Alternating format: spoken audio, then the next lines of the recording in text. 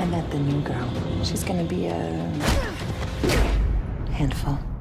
Batwoman. New episode starts Sunday, January 17th. Time to be powerful. Time is running out.